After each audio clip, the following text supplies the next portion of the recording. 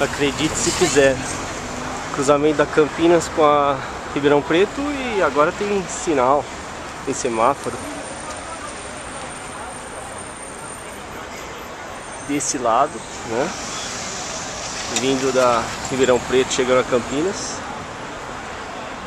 Passando pela Ribeirão Preto, sentido Eugênio de Lima e descendo a Campinas também. Bem interessante. Só que faltou semáforo para pedestre. Apesar de já ser melhor do que antes. Que era um caos, né? Bacana. Tá começando a melhorar.